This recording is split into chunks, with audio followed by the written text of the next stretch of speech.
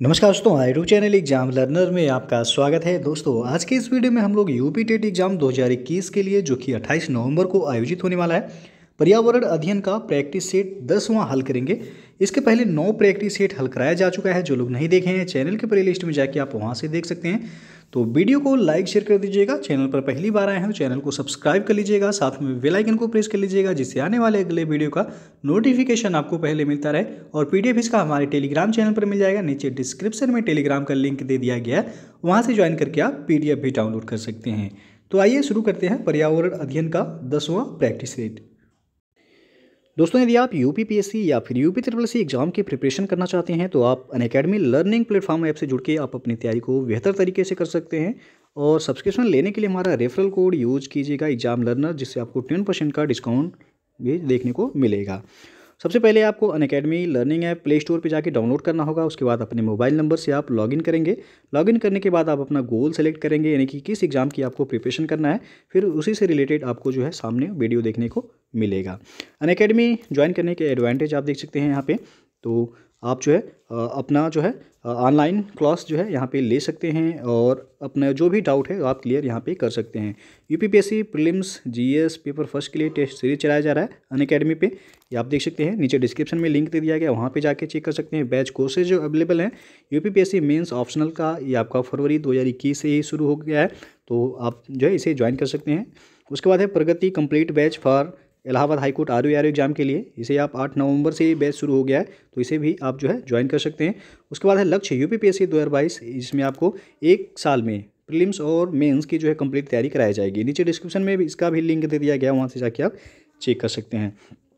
और भी जो कोर्सेज अवेलेबल हैं अन पे, आप उसे भी ज्वाइन कर सकते हैं। और यहाँ पे फ़ीस स्ट्रक्चर दिया गया है अन अकेडमी सब्सक्रिप्शन का तो इसे भी आप जो है देख लीजिए और ये रेफरल कोड हमारे यूज़ कीजिएगा एग्ज़ाम लर्नर जिससे आपको टेन परसेंट का एडिशनल डिस्काउंट भी देखने को मिलेगा। तो उसके बाद जो है अन अकेडमी का सुपर कॉम्बो सब्सक्रिप्शन ऑफ़र अभी जो चल रहा है, वो आपको जो है मिल जाएगा और आप टेलीग्राम पे भी अन अकेडमी को ज्वाइन कर सकते हैं। तो आप जो है अभी अन अकेडमी ज्वाइन कीजिए और अपनी तैयारी को जो है बेहतर तरीके से करिए और एग्ज़ाम को आप आसानी से क्रैक कर सकते हैं।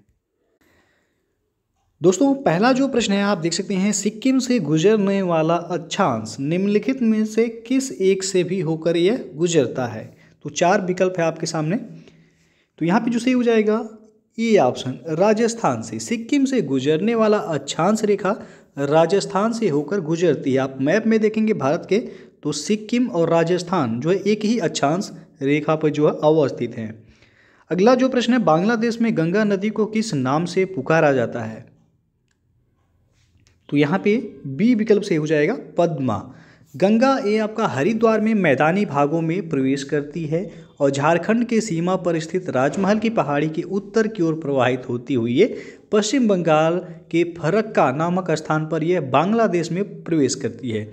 और यहाँ इसे पद्मा के नाम से जाना जाता है। तो पूछा गया, बांग्लादेश में गंगा नदी को किस नाम से जाना जाता है? पद्मा के नाम से। और गंगा नदी की कुल लंबाई देखा जाए तो 2525 किलोमीटर इसकी कुल लंबाई है। अगला प्रश्न है, उत्तरी गोलार्ध वर्ष का सबसे बड़ा दिन कौन सा होता है? तो यह है 21 जून। बी ऑप्शन यहाँ पे सही हो जाएगा। उत्तरी गोलार्ध में जो 21 जून को वर्ष का सबसे लंबा दिन होता है, वहीं दक्षिणी गोलार्ध में देखा जाए तो 22 दिसंबर को सबसे बड़ा दिन होता है, यानी कि अपोजिट होता है। यदि उत्तरी गोलार्ध में 21 जून को जो है सबसे बड़ा दिन होगा तो दक्षिणी गोलार्ध में जो है 22 दिसंबर को सबसे बड़ा दिन होगा। और वहीं जो है 22 दिसंबर को उत्तरी गोलार्ध में सबसे छोटा दिन होगा। अगला क्वेश्चन है, संविधान सभा के चुने हुए अस्थाई अध्यक्ष कौन थे? तो यहाँ पे सी ऑप्शन से होगा डॉक्टर राजेंद्र प्रसाद। 9 दिसंबर 1946 को संविधान सभा की प्रथम बैठक की अध्यक्षता अस्थायी अध्यक्ष डॉक्टर सचिदानंद सिन्हा ने की थी और 11 दिसंबर 1946 को संविधान सभा ने डॉक्टर राजेंद्र प्रसाद को निर्विरोध संविधान सभा के अस्थायी अध्यक्ष के रूप में निर्वाचित किया। तो अस्थाई पूछा गया है यहाँ पे डॉक्टर राजेंद्र प्रसाद हो जाएगा और अस्थाई पूछा जाता तब डॉक्टर सचिदानंद सिन्हा सही हो जाता। अगला क्वेश्चन है, निम्नांकित में से किस एक का कथन है कि संविधान को संघात्मकता के तंग ढांचे में नहीं ढाला गया है? तो यहाँ पे सी ऑप्शन से होगा doctor B Bhimrao Ambedkar. Doctor Bhimrao Ambedkar ने यह स्वीकार किया था कि संविधान को संघात्मकता के तंग ढांचे में नहीं ढाला गया है, तथा यह एकीकृत और संघात्मक दोनों ही है। तो सी ऑप्शन यहाँ सही हो जाएगा। अगला प्रश्न है, निम्नलिखित में से किसकी संस्तुति पर भारतीय संविधान में मूल कर्तव्य शामिल किया गया? तो सी ऑप्शन से हो जाएगा, स्वर्ण सिंह समिति की अनुशंसा पर। भारतीय संविधान के भाग चार ए के तहत और अनुच्छेद देखा जाए तो इक्यावन ए जोड़कर इसके अंतर्गत नागरिकों के मूल कर्तव्यों को बयालीसवें संविधान संशोधन उन्नीस सौ छिहत्तर द्वारा शामिल किया गया था। जो कि सरदार स्वर्ण सिंह समिति की अनुशंसा पर यह आधारित था। अगला प्रश्न है, भारत का नियंत्रक एवं महालेखाकार निम्नलिखित में से किसका एक मित्र एवं मार्गदर्शक होता है? तो डी ऑप्शन से होगा लोक लेखा समिति का। लोक लेखा समिति की कार्यवाही की मध्यस्थता नियंत्रक एवं महालेखा परीक्षक यानी कि कैग करते हैं। इस प्रकार वे इस समिति के मित्र एवं मार्गदर्शक होते हैं। और लोक लेखा समिति में पूछा जाता है कुल कितने सदस्य होते हैं तो 22 सदस्य होते हैं इसमें 15 सदस्य लोकसभा से और सात सदस्य राज्यसभा से होते हैं। अगला प्रश्न है, उत्तर प्रदेश के लोकायुक्त की पदधारण अवधि है तो यह आठ वर्ष। डी ऑप्शन यहाँ पे सही हो जाएगा। उत्तर प्रदेश लोकायुक्त और उप लोकायुक्त अधिनियम 1975 के तहत लोकायुक्त अथवा उप लोकायुक्त की पदधारण अवधि उसके पद धारण करने की तिथि से छः वर्ष निर्धारित थी। लेकिन यह वर्ष 2012 में उत्तर प्रदेश लोकायुक्त और उप लोकायुक्त संशोधन अधिनियम 2012 के द्वारा इसकी पद धारण अवधि को छः वर्ष से बढ़ाकर आठ वर्ष कर दिया गया है। तो अब यह आठ वर्ष हो गया है। डी ऑप्शन यहाँ पे सही हो जाएगा। अगला जो प्रश्न है, भारतीय संविधान के किस अनुच्छेद में राज्य की राजभाषा या भाषाएँ अपनाने की प्रक्रिया है? तो यह है अनुच्छेद 345 सी विकल्प यहाँ पे सही हो जाएगा। और इसमें किसी राज्य का विधानमंडल और उस राज्य में प्रयोग होने वाली भाषाओं में से किसी एक का राजभाषा के रूप में प्रयोग कर सकेगा। जबकि यहाँ पे आर्टिकल थ्री फोर थ्री दिया गया, ये संघ की राजभाषा के संबंध में है और थ्री फोर फोर ये आपका इसमें राजभाषा के संबंध में आयोग तथा संसद की समिति का गठन है और थ्री फोर सिक्स जो दिया गया इसमें दो राज्यों के बीच पत्रादि की राजभाषा का प्रयोजन है। तो यहाँ पे सी ऑप्शन सही हो जाएगा। अगला क्वेश्चन देखते हैं कि किस देश के राजनीतिक नेतृत्व को प्रिंसलिंग नाम से जाना जाता है? तो यह है चीन। सी विकल्प यहाँ पे सही हो जाएगा। चीन के राजनीतिक नेतृत्व को प्रिसलिंग नाम से जाना जाता है क्योंकि शासक कम्युनिस्ट पार्टी में पदानुक्रम से सर्वोच्चता निर्धारित होती है। अगला प्रश्न है, सब्ज़ी के लिए काम आने वाले पौधों के अध्ययन को कहते हैं? तो यह क्या रहता है? ओलेरिकल्चर। डी ऑप्शन यहाँ पे सही हो जाएगा। और ओलेरिकल्चर के अंतर्गत सब्ज़ी के लिए काम आने वाले पौधों के उत्पादन का अध्ययन किया जाता है। फ्लोरिकल्चर, ये आपका फूलों से संबंधित है, पोमोलॉजी फलों से संबंधित है, और हार्टिकल्चर, ये आपका बागवानी से संबंधित है। अगला प्रश्न है, मशरूम क्या है? तो यहाँ पे जो सही हो जाएगा, ए ऑप्शन कवक है यह। कुकुरमुत्ता यानी कि मशरूम, एक कवक यानी कि फंगी होता है, जिसका हम खाद्य पदार्थ के रूप में सब्ज़ी बनाने में उपयोग करते हैं। तो ये ऑप्शन सही हो जाएगा यहाँ। अगला क्वेश्चन देखते हैं कि निम्नलिखित में कौन परजीनी पादप है? तो इसमें गोल्डन चावल गोल्डन राइस सी ऑप्शन सही हो जाए। गोल्डन राइस एक परजीनी या कह सकते हैं कि ट्रांसजेनिक पादप है, जिसे जेनेटिक इंजीनियरिंग की मदद से तैयार किया गया है। और इसमें विटामिन ए पाया जाता है। गोल्डन राइस में आपका विटामिन ए मिलता है। अगला प्रश्न है, निम्न में कौन सा एक सत्य फल नहीं है? तो इसमें सेब, ये आपका सत्य फल नहीं है। जब फल के निर्माण में अंडाशय के अलावा कुछ अन्य भाग भी शामिल हों तो वह ऐसे फल को असत्य फल, यानी कि फॉल्स फ्रूट कहते हैं। उदाहरण में सेब आ जाएगा, काजू आ जाएगा, नाशपाती, ये सभी असत्य फल की श्रेणी में आते हैं। तो सेब ऑप्शन में इसलिए ए ऑप्शन सही हो जाएगा। अगला प्रश्न है, सतत विकास लक्ष्य 2020 के सूचकांक में भारत का कौन सा स्थान है? तो भारत का स्थान इसमें है एक सौ सत्रहवां। ए ऑप्शन सही हो जाएगा। सतत विकास लक्ष्य सूचकांक 2020 में स्वीडन पहले स्थान पे है। और भारत का रैंक इसमें है एक सौ सत्रहवां। अगला क्वेश्चन है, निम्नलिखित में से किस कार्य से पारिस्थितिक संतुलन बिगड़ता है? तो यहाँ पे ए ऑप्शन सही हो जाएगा, लकड़ी काटने से। और अगला प्रश्न है, जैव विविधता का सबसे महत्वपूर्ण पहलू कौन सा है? तो यहाँ पे जो सही हो जाएगा आपका डी ऑप्शन पारिस्थितिक तंत्र का निर्वहन।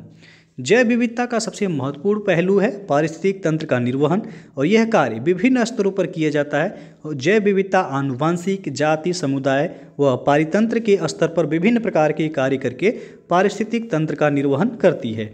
आपको पहले भी बताया गया जैव विविधता शब्द का प्रयोग जो है किसने किया था? तो वाल्टर जी रोजेन ने किया था, और जैव विविधता दिवस कब मनाया जाता है? तो 22 मई को जैव विविधता दिवस मनाया जाता है। अगला क्वेश्चन है, वैश्विक उष्मन के फलस्वरूप निम्नलिखित में किसकी बारंबारता और प्रचंडता बढ़ रही है? तो यहाँ पे आपका डी ऑप्शन सी हो जाएगा, उपरोक्त सभी। वैश्विक उष्मन यानी कि ग्लोबल वार्मिंग ये पृथ्वी पर जीवन के समक्ष सबसे गंभीर चुनौती है।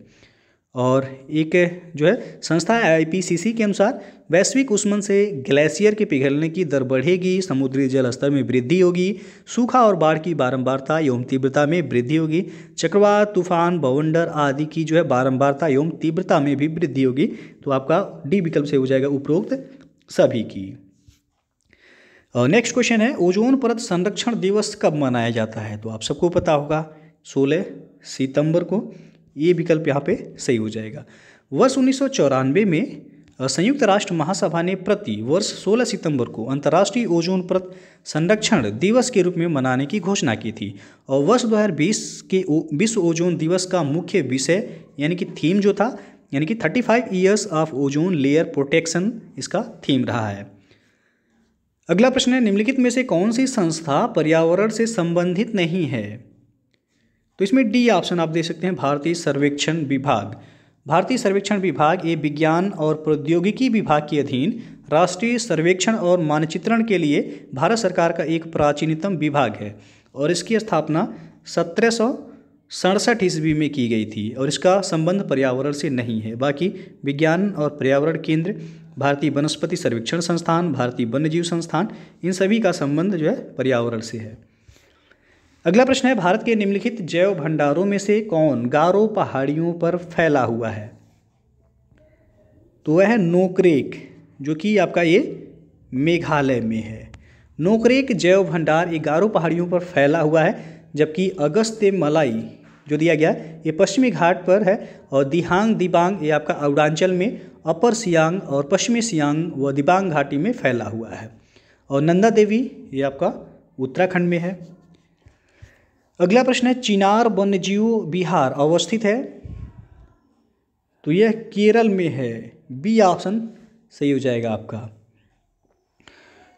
और अगला क्वेश्चन देखते हैं कि भोपाल में यूनियन कार्बाइड फैक्ट्री से जो गैस रिस गई थी, वह थी? तो आप सभी को पता होगा, भोपाल गैस कांड तो उसमें एमआईसी गैस था, यानी कि methyl isocyanide C option सही हो जाएगा।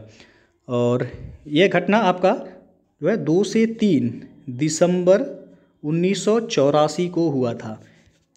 और ये आपका मध्य प्रदेश के भोपाल में, भोपाल जो है कांड हुआ था, जिसमें एमआईसी गैस का रिसाव हो गया था। और इसी से रिलेटेड है आपका चेरनोबिल त्रासदी और ये आपका यूक्रेन में हुआ था, चेरनोबिल त्रासदी, जो कि उन्नीस सौ छियासी में हुआ था। तो ये दोनों महत्वपूर्ण है, याद रखिएगा आपका। भोपाल गैस कांड पूछा जाए, कब हुआ था? तो दो से तीन दिसंबर उन्नीस सौ चौरासी को हुआ था, और इसमें कौन सी गैस की रिसाव हुई थी? तो मिथाइल आइसोसाइनाइड, यानी कि एम गैस का रिसाव हुआ था। अगला प्रश्न है, विटामिनों के बारे में निम्नलिखित में से कौन सा कथन सही नहीं है? तो इसमें डी ऑप्शन देख सकते हैं आप। विटामिन के दिया गया है, जल में घुलनशील विटामिन है। तो ये आपका सही नहीं है।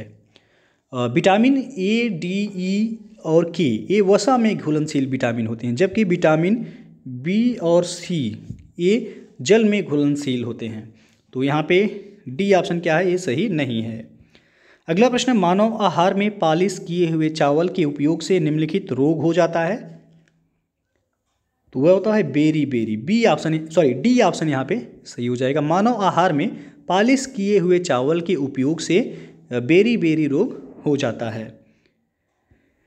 अगला प्रश्न देखते हैं कि एक से पंद्रह फरवरी दो हज़ार इक्कीस के मध्य राष्ट्रीय जनजातीय पर्व आदि महोत्सव कहाँ आयोजित किया गया है? तो ये किया गया है नई दिल्ली में। ये ऑप्शन यहाँ पे सही हो जाएगा।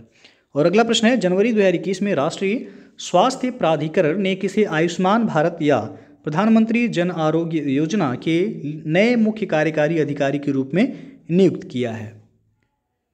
तो इनका नाम है doctor R S Sharma.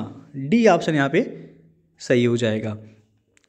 जनवरी 2021 में ट्राई के पूर्व अध्यक्ष आर एस शर्मा राष्ट्रीय स्वास्थ्य प्राधिकरण यानी कि एन के द्वारा कार्यान्वित की जाने वाली आयुष्मान भारत योजना के नए मुख्य कार्यकारी अधिकारी, जिसे कहते हैं सीईओ नियुक्त हुए हैं और इस पद पर वह इंद्रभूषण का स्थान लेंगे।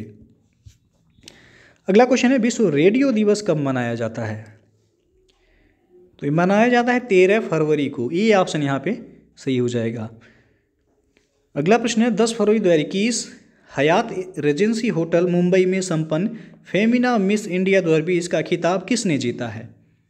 तो इनका नाम है मानसा जो है, ये वाराणसी से हैं। तो ये ऑप्शन आपका सही हो जाएगा। दस फरवरी दो हज़ार इक्कीस को फेमिना मिस इंडिया दो हज़ार बीस सौंदर्य प्रतियोगिता का आयोजन हयात रेजेंसी होटल मुंबई में संपन्न हुआ और इस प्रतियोगिता में मानसा, वाराणसी ने जो है फेमिना मिस इंडिया 2020 का खिताब जीता है। और अगला जो प्रश्न है, और ये अंतिम क्वेश्चन है, देश की पहली भूतापीय बिजली परियोजना कहाँ स्थापित की जाएगी? तो ये पूगा गाँव में स्थापित किया जाएगा। ये विकल्प यहाँ पे सही हो जाएगा। फरवरी दो हज़ार इक्कीस में प्रकाशित रिपोर्टों के अनुसार देश की पहली भूतापीय परियोजना पूर्वी लद्दाख, ये आपका लद्दाख में है, पूर्वी लद्दाख के पूगा गाँव में स्थापित की जाएगी तो ये ऑप्शन सही हो जाएगा। तो दोस्तों, ये था आपका पर्यावरण अध्ययन का दसवां प्रैक्टिस सेट इसके पहले नौ प्रैक्टिस सेट हल कराए जा चुके हैं। तो यदि आप लोग नहीं देखे हैं तो चैनल के प्लेलिस्ट में जाइएगा, आपको वहाँ से सभी प्रैक्टिस सेट मिल जाएँगे।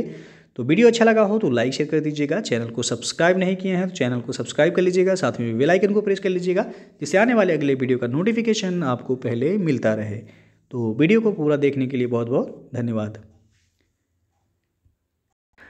दोस्तों अकेडमी पे U P P S C P C S mains के लिए हिंदी और एस सी बैच जो है, ये आपका बारह नवंबर से शुरू कर दिया गया है। तो जो लोग इस बैच से जुड़ना चाहते हैं, नीचे डिस्क्रिप्शन में लिंक दे दिया गया है, वहाँ से जाके आप जो है जुड़ सकते हैं और ये विजय भाव नाम से जो है, आपको ये देखने को मिलेगा।